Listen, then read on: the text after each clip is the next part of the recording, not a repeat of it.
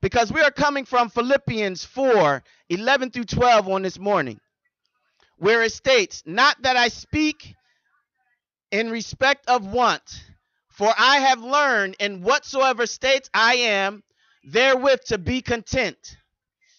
I know both how to be abased and I know how to abound. Everywhere and in all things, I am instructed both to be full and to be hungry, both to abound and to suffer need. And verse 13 goes on to say, I can do all things through Christ which strengtheneth me. But let me go back to verse 11. It says, Not that I speak in respect of want, for I have learned in whatsoever state I am therewith to be content. Not that I speak in respect of want, for I have learned in whatsoever state I am therewith to be content. Not that I speak in respect of want, for I have learned in whatsoever state I am therewith to be content. See, one of the things that we have to realize on this morning is we don't need to get caught up in what we don't have. Don't get caught up in what we don't have. Because as you get caught up in, as we get caught up in what we don't have, we will end up complaining. And in complaining, we will end up sitting up there looking at our circumstance, looking at our situation, and say, God, how did I end up here? Why am I here? Why is this happening? How is this happening? But let me tell you this how we act and how we react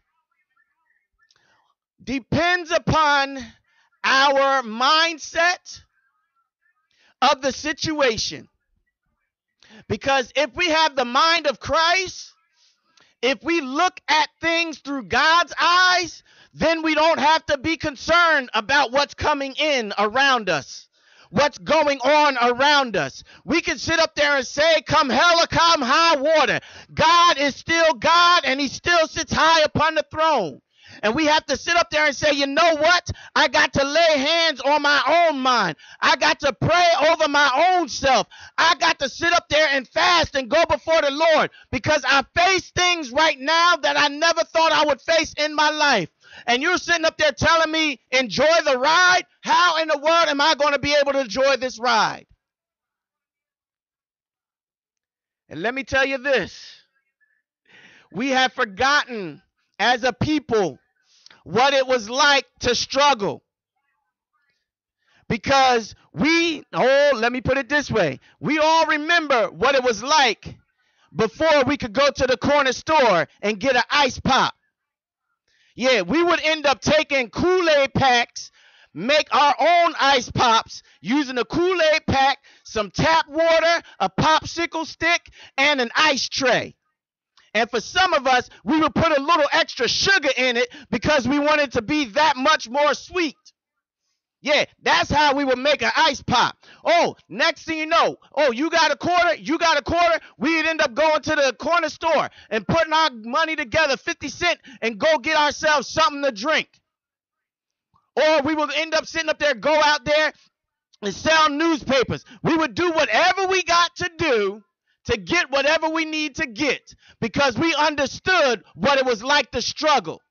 We understood what it was like to have to save a dollar here, save a penny there, to sit up there and save and do what we need to do to get what we need to get. But right now, we have gotten to the place where we have, hmm, where life has gotten soft. We have gotten easy with life for some of us.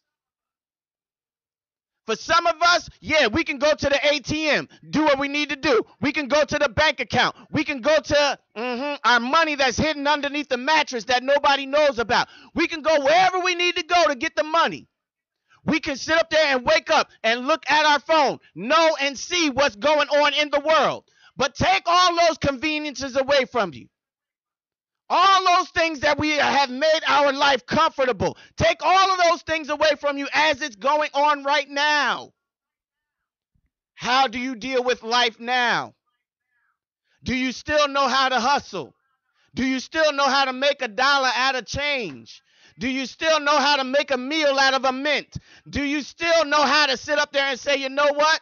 I can put cardboard in the bottom of my shoes. I can still look in the refrigerator and make a meal out of whatever's in there. I'm not going to say I don't have this, I don't have that. Oh, we got to sit up there and get back to the old days. We got to sit up there and get back to the old days where we knew what it was like, where we had to put this together and we had to put that together. Because we look at it like this with some of us now. If we don't get what we want, when we want, how we want it, we have a complete meltdown. We have a complete meltdown. We might as well call it all off because I don't have what I want when I want it. And we sit up there and say, forget it. I'm not doing anything. What happened to sitting up there trying to struggle to get what you need to get? What happened to sitting up there pushing to do what you need to do? What happened to saying, you know what? I'm not going to let this one stop me. I'm not going to let that one stop me. You tell me that I can can't, and I tell you that I can. You tell me that I won't, I tell you that I will. You tell me that I won't have, I tell you I shall have. I will do it. I am a survivor. You don't think that I'm able to make it out of this? I'm telling you right here and right now, even if I contract the virus, I'm still going to make it out of it because no weapon formed against me shall prosper. I will survive. I will thrive. Because we also have to look at it. Even if we are saved, we will still complain sometimes. Saints of God, that's on the line. Sometimes we will still complain. We will all have a moment where we will throw up our hands and we will sit up there and say, God, I'm your child. Why am I going through this? I sit up there and come to church. I pay my tithes. I give an offering. I'm helping the poor. I'm helping this one. I'm helping that one. I'm doing good. And yet and still, I'm still going through this. I'm still going through that. But God says, I have given you what you need to go through it. I have put in you what you need to get through it. All you have to do is just rely on me. Just remember what I did for you in the past. I'm able to do it for you in the present, and I'm going to keep you in the future. So I would advise each and every one of us instead of complaining, praise God. Instead of complaining, worship God. Instead of calling in, mm, instead of throwing in the towel, throw your hands up and give God the glory. Instead of cussing somebody out, bless them in the name of the Lord. Instead of thinking about me, myself, and I, sit up there and say, What can I do to help my neighbor? We're in this together. Because let me put it to you in another way. Instead of complaining about the hand you were dealt, win with that hand. Instead of complaining about the hand that you were dealt, win with that hand. Because I'm here to tell you right now, and I know you are listening. You give your hand to somebody else, oh, they will definitely win with that hand. They will not sit up there and complain. And I'd even tell us to look at mm, look at somebody else's circumstance, look at somebody else's situation. When you look at what they're going through, you'll sit up there and say, you know what? Mm-hmm, I think about it. My circumstance and situation is not as bad as theirs is. I'm I'm going through, but I'm going through this circumstance. They going through, they going through their circumstance. But God can bless me in the midst of my circumstance, in the middle of what I'm going through. So I'm not going to complain about what was dealt unto me. I'm going to sit up here and do what I got to do to get through what I'm going to get through. Because if I had to deal with what you're dealing with, I would not be able to get through it because every circumstance and every situation that we face in this life is created and designed just for each and every one of us. It's a time of testing. It's a time of growth. It's a time of understanding. And why do you say understanding? Why do you say growth? Because we will learn from our circumstances. We will learn from our situations. We will learn what to do. We will learn what not to do. And from that, we will get an understanding. And we will not repeat what we have been through.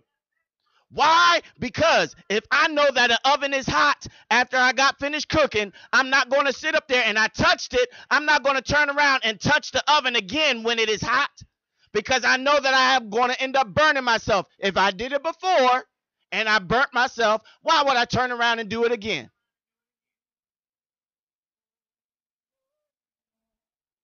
What we face and how we face and how we go through is not there to kill us. It's not there to destroy us. It's there to make us better. It's there to make us better. Because I would even ask or tell us on today that we need to watch what comes out of our mouth. Because as we already stated, we end up complaining about circumstances and situations. We end up saying this, that, and the other about it. But God says you got to watch what comes out of your mouth. Because let me put it to you this way we don't realize that the more we speak it, the more we succumb to it. The more we speak it, the more it infects us. The more we speak it, the more it affects us. The more we speak it, the more it affects us. It ends up going into our mind. It affects our outlook. It affects our disposition. It affects our attitude. It affects our language. It affects our body language. It affects everything about us. If we say, I'm going to make it, then we have the attitude, we have the posture that I'm going to make it. If we say that I'm not going to make it, then we will end up having the attitude and the posture that I'm not going to make it. But we have to make up in our own mind. We have to be convinced in our own mind that I will, I can get through this. Because in Romans 10 and 17 it states this So then faith cometh by hearing, and hearing by the word of God. And let's reverse it. Because as you speak, as you hear the word of God, it increases your faith. As you hear and you see the things that God can and will do, it increases your faith as you are on social media and you see how people have had asked others to pray for them when they were sick with the coronavirus, they ended up getting healed. You can be, we can be encouraged. And our faith can be increased by that circumstance. But if we continue to constantly and consistently complain about it, and give in to what is mm, the spirit that is permeating the nation of fear and anxiety, then you will be caught up in that spirit. You will wonder why you are sitting up there closing the windows, closing the blinds. It's not because you want to stay at home, it's because you are depressed, because you have anxiety. It affects your whole outlook. What comes out of your mouth will infect your body. You look at how you talk to your wife. You look at how you talk to your husband. They will respond. You look at how you talk to your kids. They will respond to how you talk to them. What you call out of them is what they will become. If you tell them that you act like you're no good, nappy headed daddy, then that's what they're going to act like. If you tell them that you. Mm-hmm, you tell them that you test mattresses just like your mama, then that's what they're going to do. The words that come out of your mouth have power. But if you tell them you are the smartest boy on this planet Earth, you have an entrepreneurial spirit in you. You are so smart. You are one of the brightest young ladies I've ever known. You are the best husband I've ever known. You are the best wife that I've ever known. And I'm going to continue to build you up because you're not going to be what somebody else told you that you are. You are going to be who God says you are. You are going to be above and not beneath. You are going to be the head and not the tail. You are going to be the first and not the last. You are not going to give up. You are not going to be what everybody else said you were going to be. I don't care what your great grandfather was. I don't care what your grandfather was. I don't care what your father was. But as your mama, as your daddy, I'm calling you out. I'm calling that spirit up out of you and I'm placing the spirit of God in you. I'm calling you who you will be. Because let me go to the other side of it. Because God will respond to our complaints, especially when we sit up there and complain about something that He has done. Because we will end up showing how ungrateful we are, how selfish we are, and how self centered we are. And in that, God will end up responding to our complaints. And when he responds to our complaints, we will not like his response. Because in Numbers chapter 11 and 1, it states, And when the people complained, it displeased the Lord. And when the people complained, it displeased the Lord. And the Lord heard it, and his anger was kindled. And the fire of the Lord burnt among them and consumed them that were in the uttermost parts of the camp. You wonder why sometimes your circumstance gets bad and continues to get worse? It's because in the midst of all of it that's going on, instead of praising God, instead of praying, we end up complaining. You wonder why things get bad, why the circumstance and situation gets worse? Is because instead of praising, we complain. And before we say anything, we have to look at it in this way. Ask yourself some questions and say, we have to ask is what I'm about to say going to be beneficial? Is it going to build somebody up? Or is it going to tear them down? Is it going to help the circumstance? Or is it going to make the circumstance worse? Is it going to encourage them? Or is it going to discourage them? Because a lot of times we have, we open up our mouths and we speak before our brain is actually in motion. We react to the circumstance instead of taking a moment and saying, let me sit back and think about it. Let me sit back and let me think about this thing before I say something. And sometimes we need to sit up there and pray and say, Lord, give me the response that needs. Because in Colossians 3 and 17, it states, And whatsoever ye do in word or deed, do all in the name of the Lord Jesus, giving thanks to God the Father by him. It says, And whatsoever ye do in word or deed, do all in the name of the Lord Jesus. We have to realize that we are not what someone says we are. So you can text your neighbor, because I know you on the line, and tell them, watch what you call me. Text your friend and say, watch what you call me. Because in this day and in this time, we have to realize that we are, I am a survivor. Because we can, we will, and we must survive. We have to encourage ourselves and say, we can, we will, we must survive. We have to continue to say, we can, we will, we must survive. Even in this circumstance with what we face right now, no matter what is going on, we have to turn around and say, we can, we will, we must survive. Even when they continue to feed us and give us bad news of the outbreak, we have to turn around and say, we can, we will, we must survive. We have to say we cannot give up.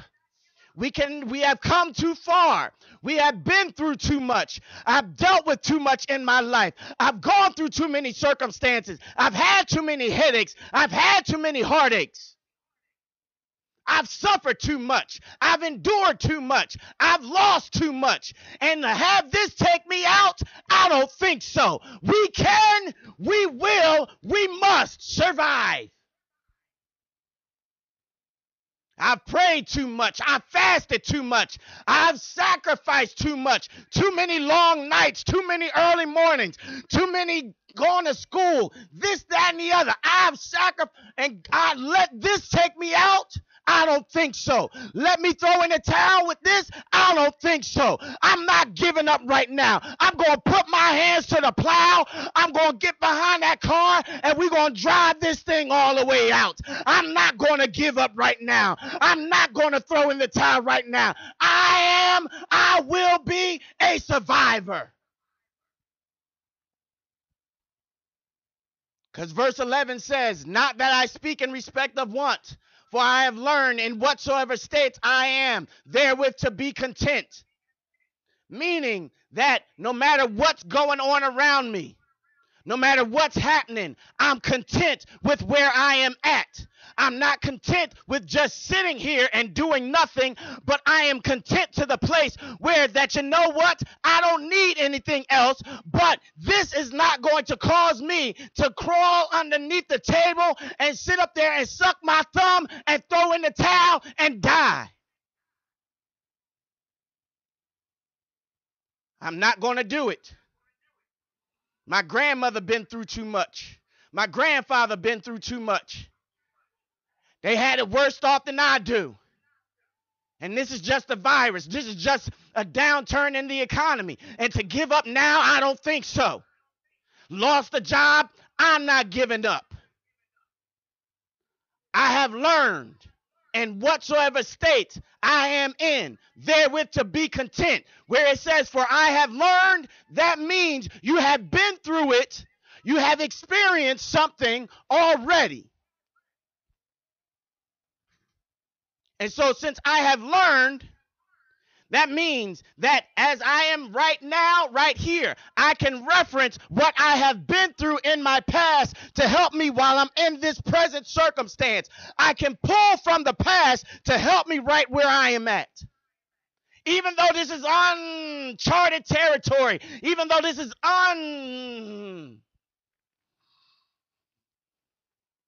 problems and circumstances, situations, and I can't deal with it. But I've learned from my past.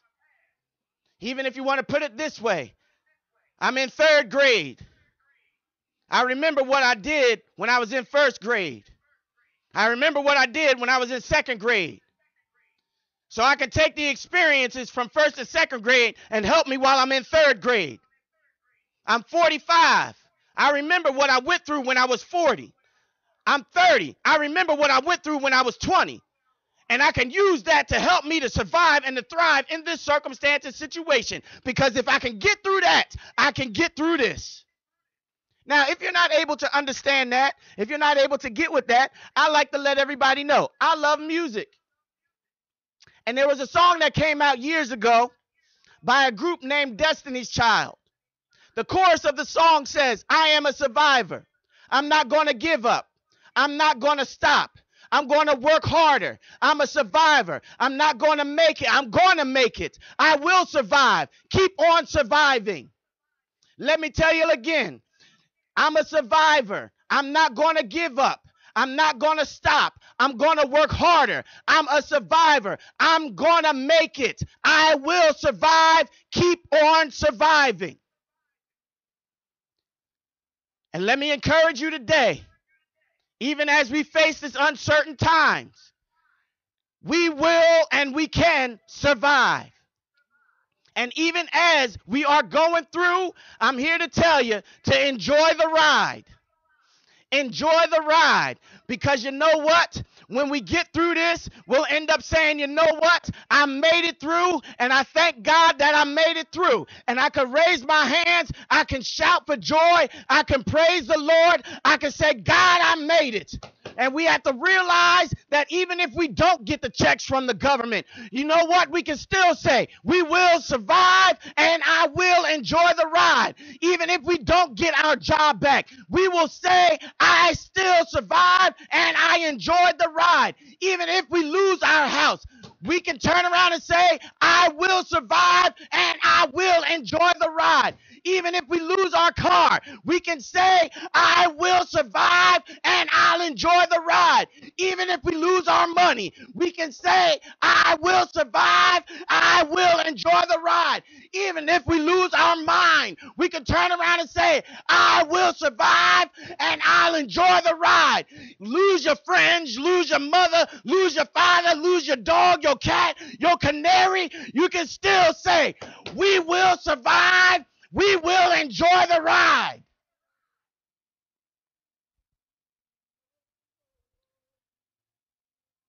And let me tell you this we will still survive and enjoy the ride because as long as I got Jesus, I know that everything is already all right. We will still survive and enjoy the ride because as long as I got Jesus, I know that everything is already all right. I don't even have to wait till the battle is over. I can shout right now. I can give God the glory right now. Even though I haven't got to the end, I already know what the end is going to be. I already know that God has made a way. He has opened up doors. He has closed doors. He has done great things. All I have to do is just catch up to what He has done because He's doing it and He does all things well. He has has all power in his hands. He has all things in his hands. If he wanted to bat an eyelash and heal the whole nation, he could do it.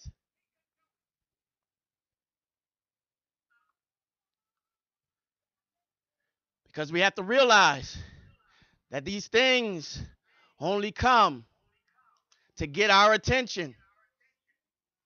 Because we have to remember that Jesus said, I prayed for you that your faith would fail not.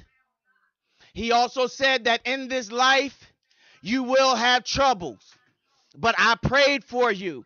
I fasted for you. I died for you. I took three nails and a crown of thorns on my head. I took lashes just for you. So then you don't have to go through without having any strength on the inside. I endured all of this so that I can give you the strength that you need so that you can get through what you are facing right now here in this life. And I've given you promises after promises after promises because my promise is yea and amen. You can take it to the bank and you can cash it in, baby. It's not rubber made. It's mm, it is mm, good.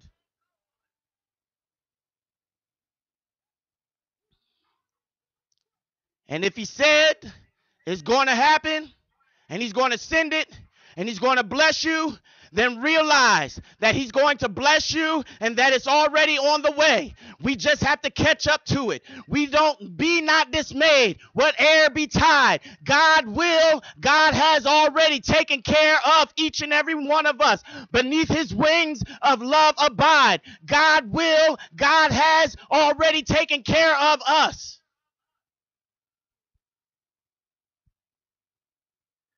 And continue to bless his name in the middle of all of this. Continue to lift him up in the middle of all of this because we are in this together. And let the record show that the word of God gives us promises concerning our circumstances. And it says in Hebrews 13 and 5, let your conversation be without covetousness, and be content with such things as ye have. For he hath said, I will never leave you nor forsake you. That is a promise from God to us. In Psalms 27 and 10, God says, When my mother and my father forsake me, then the Lord will take me up. In Jude chapter 20 in chapter 1 verse 24 it states now unto him that is able to keep you from falling and to present you faultless before his presence of exceeding great joy to the only wise God, our Savior, be honor, majesty, dominion, and power, now and forevermore. In Isaiah 59 and 19, the B part, it says, When the enemy shall come in like a flood, the Spirit of the Lord shall lift up a standard against him. Oh, but also in Psalms 91 and 2, it says, I will say of the Lord, He is my refuge and my fortress. My God, in Him will I trust. Let me repeat that again. I will say of the Lord, He is my refuge and my fortress. My God, in Him will I trust. Some trust in Buddha, some trust in Muhammad, some trust in a job, some trust in a man, some trust in a sugar daddy, some trust in a pimp, some trust in the government, but we will trust in the name of the Lord because the name of the Lord is a strong tower. The righteous run in and they are saved. Yea, though I walk through the valley of the shadow of death, I will fear no evil, for thou art with me. Also in Psalms 91 and 15, I love this one. He says, He shall call upon me, and I will answer him. I will be with him in trouble. I will deliver him and honor him. How many of us have been in circumstances and situations where our brother or our sister, our mother or our father has left us by ourselves. But I'm here to tell you that God says, I will be with him, I will be with you in trouble. I'll be right there by your side. I will lead you. I will guide you. I will direct you as long as you continue to trust in me. As long as you continue to believe in me. As long as you continue to call on me. I'll be right there. Call on Jesus. He will answer prayers. Call on Jesus. He will answer prayers. And all you have to do is say, I'm going to sit back. I'm going to enjoy the ride. I'm going to thrive in this circumstance. I'm going to thrive in it no matter what. I'm not going to say, how long is it going to be until this thing is going to be over? I'm going to sit up there and say, you know what? God, you blessed me yesterday. You kept me yesterday. I know you're going to keep me today. So ride on, King Jesus. Ride on. All you got to do is show me. Where you lead me, I will follow. I'll go with you all the way. Hold on to the reins. Hold on to the steering wheel. Sit back and enjoy the ride. God is leading us, God is guiding us, God is directing us. You can be just like Miss Daisy, sitting back in the back of the car, sitting up there saying, Okay, where are we going now? How are we going to get there now? And God says, you know what? Just sit back and enjoy the ride because I'm going to be right here with you. And you want to turn around and say, but God, pump the brakes. God says, no, it ain't no time for pumping the brakes. Ain't no stopping now. We on the move. God says, I'm going to get you where you need to go. Just sit back and enjoy the ride. You say, Pastor, how can I enjoy the ride? I can tell you this by changing your mindset, by changing your outlook of the circumstance and the situation. And you begin to give God the glory in the midst of all of it, and that will cause you to enjoy the ride. Because I like to ride roller coasters. I really do. I like to ride roller coasters. They they are fun. I love going on them faster, high, switched, all this, that, and the other, jerking the turn there, jerking the turn there, going backwards, going forwards. I, I love it.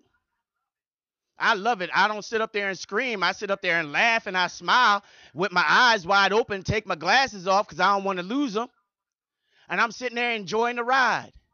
But I've seen a couple times on Facebook where people get on a roller coaster and next thing you know, all of a sudden they sit up there praying, Lord Jesus, please keep me while I'm on this ride. Lord God, if you keep me, I'll go to church. Lord God, if you keep me, if you save me as I'm going through this, I'll go back to church. Please, Lord God. And next thing you know, the thing takes off and they're like, ah, Jesus. And I'm telling you, it's your outlook of when you on that ride. Are you going to enjoy the ride or are you going to scream in fear and anxiety?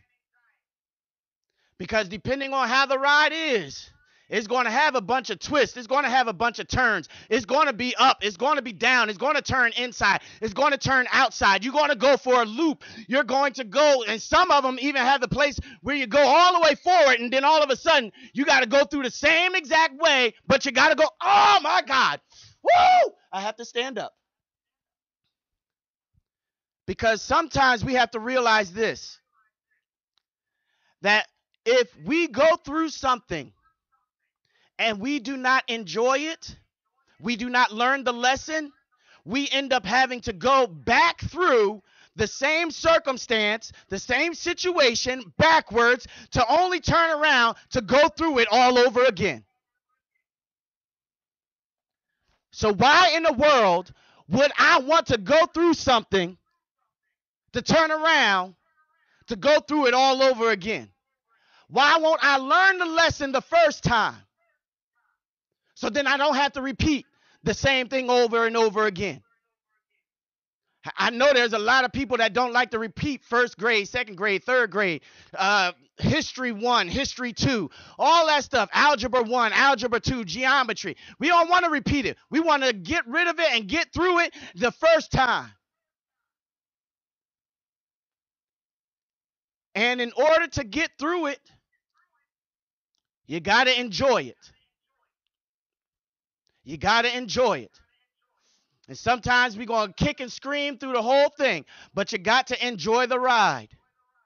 You got to enjoy the ride because God says, I'm, I'm right there with you. You may think that you are in a single car on the roller coaster by yourself, but you have to realize God said, I'll never leave you. So, sitting right there next to you in the car is God right there. And He's whispering into your ear saying, Listen, I got your back. Just hold on to my hand. I'm right here with you. Doesn't matter how fast this ride's going, no matter what the turns, no matter what's going on, I'm right here with you. There is a prize at the end. You just we just we just gonna sit back and we're gonna enjoy this ride. And then next thing you know, a peace and a calm comes over your life and you have peace with God and you have a peace of God. And you say, Oh my goodness, I never knew I could get through something like this. I never knew I could go through this with my hands raised. I never knew I could go through this giving God the glory. I never knew I could deal with this circumstance. I never knew I could deal with this situation and give God the glory in the midst of it all. Oh no, I, I can't believe that. But God sitting right there next to you says, Yes, you can. Because you can say, I'm a survivor. And I will, I shall, I must survive this circumstance. No matter what's happening, I'm getting through this. And as I get through this, I'm going to enjoy the ride. So text your neighbor as you're driving by, as you're sitting there. Tell them, sit back and enjoy the ride. No matter how long this thing's going to be, sit back and enjoy the ride.